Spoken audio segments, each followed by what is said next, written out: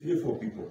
Why this happened? World witnessed what was happening at Owino and those other markets where the center, the so-called top guys, were owning the administration of their markets.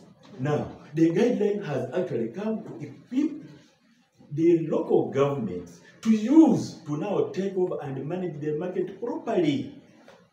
Now, the moment we go in circles, we might again adopt another act that let's now act and then we, we withdraw.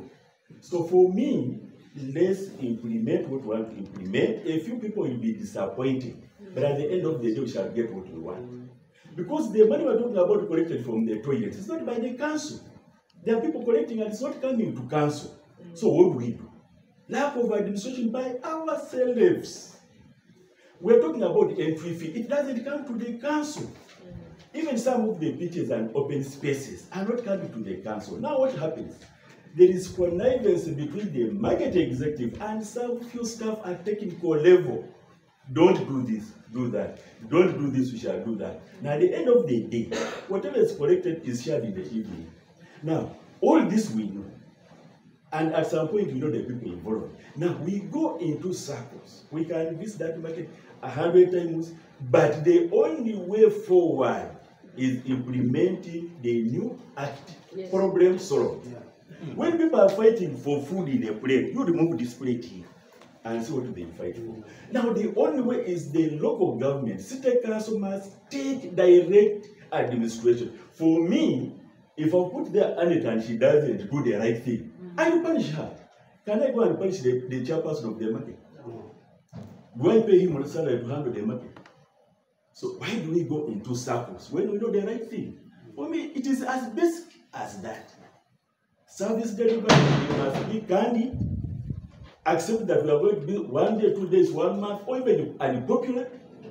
We may lose the election, but do the right thing if we want to serve our people. I don't add anything on that. It's just basic. There's nothing more explain on that. For me, that is my input on that. I want to go to the issue of KCB. Madam Martha, from 2011, we failed to complete the road called the market, that marketplace, Cathedral Avenue, because there were a lot of potholes in that area. What happened? I want to say this, and sometimes when I say this, people are mistaking me, but for me, I rather say it openly, and that is it. That place has had some fights previously, when I was even a student student. There were around two people who bought that place, that the place we're talking about, and the other areas by the way. When that was done, one of the persons who bought that place, there was a boy called Sadiq Ali. Sadiq Ali is a son to my brother. There is another guy called, I think, Nandaro somebody, I don't get the name properly. At a later stage, the late brother of mine called Al Boto bought the other interest and owned that place in 2000. Around 2004, I think years back, that place was what? Owned by him. There was a controversy between Tuka, who's opposed that place, and some other people who were friends and slightly related to the late. The late Anboto is clearly known in this system by everybody. I think he's one of the first cadres of this system. Unfortunately, I think he was not sent off as a cadre. Because at the time when we took him to India, there was a pledge to help. We managed by selling some of the assets, his condition. At a later stage, when he even passed on, by the way, for records, Madam Martha, you need this. There was a pledge of 10 million from the president's office by late Kariwango and Muhammad Masawi, the current chairman. And another 3 million supposed to come from the secretary. To date, it's now over five years, didn't come. I don't know that's how we paid him, but that is the story for another day. Now, this has come. When these people rejected, one of the persons came and started what? He worked with Derek. And he gave him one of the shops to work for.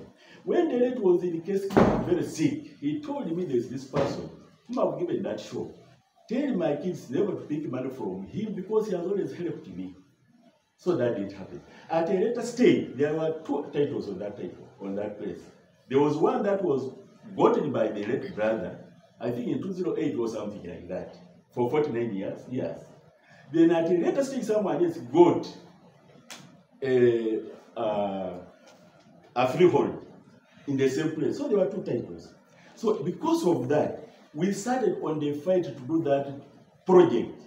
I can tell you, even the chairperson, the one of that area called the Umar somebody, mm-hmm. supported and stopped us from doing that project. And by that, that went, we were, we, I think we were shut later on, Achira came in. We again sat. We fought battles down there, including Pangas came. I, to, I told the boys, these are boys I control because they are my late brother's boys. I told them, you know what, we want a project there. We are going to initiate a memorandum of understanding with the council to allow for us to do that storm drainage because of course that's what they want for this way. After it has been done clearly, then you can now bring back what your business. Now, ownership started. The other team refused, they said you have entered in an MOU with the wrong party. The matter went up to court. It failed. Nobody. And you can uh, consult this with the the, the, uh, the former RCC Achira. People refused. And we remained, I think, myself, uh, Chairman Mahmoud, the town clerk, we got stuck. We got stuck. We had to carry this team to the resident judge here, Mr. Namun. We told him, Namun, you're giving a lot of uh, injunctions. But remember, this is World Bank money is supposed to go back. We have the right owners. They said, no, this thing doesn't have to be bought. You have to go to lands. We went to lands arms office. We went there, we talked to them, you guys. We have this. Determine the right owner. The somewhere we think is the right owner has entered an MOU with the, with the council for us to complete the project. But we are having a lot of injunctions. I think Mr. Chibande called all of us, we had a public hearing, and then determined and said, no. They late had the right, the right word, title. So he said this one should be cancelled. When we had to do that, the team again went and placed an injunction in court. We had a lot of battles. We had to carry myself, the former RCC, the chairman land board, I think there was also chairman NRM Muhammad, and the, the town clerk. We to State House and Corruption. We met with uh, Israel. By that time, I think Major Muso Iso was the barring one of the persons in Imbara. He said that him handle. So we explained our situation. And I remember that's when Israel who made a call. So by the time we came back, Namudi called us, said you people, yes, I now understand the project, it's okay. What we do, we shall determine this. However, this allowed the project work and we remove these battles. That's how that project work started. So when it started, time came, I think we were given six months. Should have ended by what? So this man was even supposed to be diverted to Majangaro because now we had reached a level when this is not being done. But remember the people who were failing this project. Actually, we are not even the, the right people to, to reject. And these boys had already agreed and for this to move. And we had that MOU. So when all this was done, and now the project was allowed to happen, and it happened, it ended. So I called this other guy. I said, you man, you were there when the late was there. You were his very close friend. Is this how you're paying his family?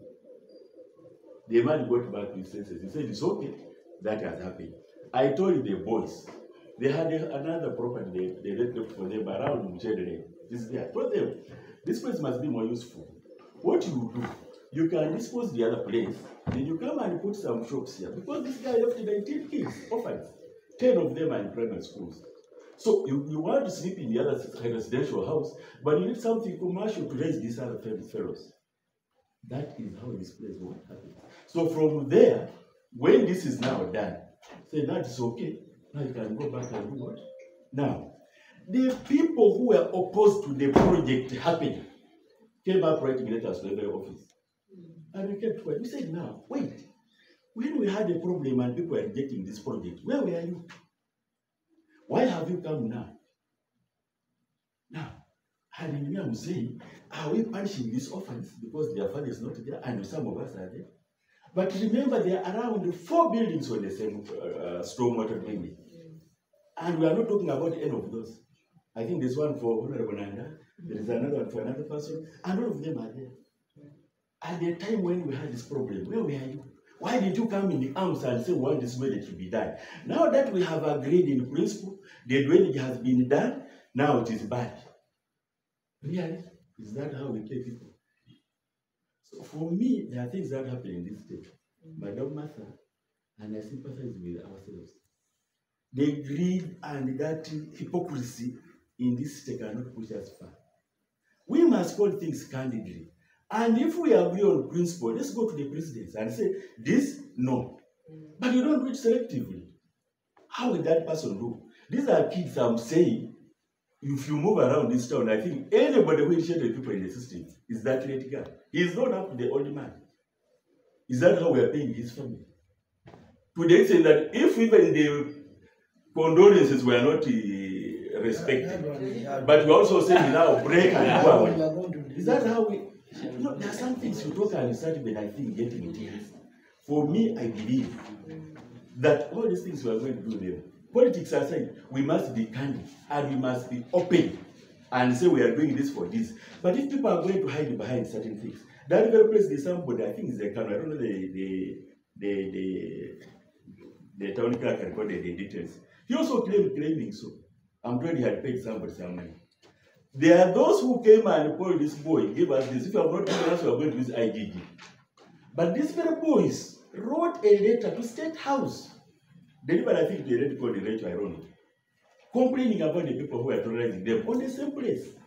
So we cannot now come and say, you see, you know, and it's not only one person. Mm. And we're talking about the drainage. The same voice I told them when we are pushing this water going into the drainage behind the park, all members refused. I told this voice, I said, I'm the mayor of this land, I'm your uncle at the same time. You are going to allow me break a rock up here. In the park itself.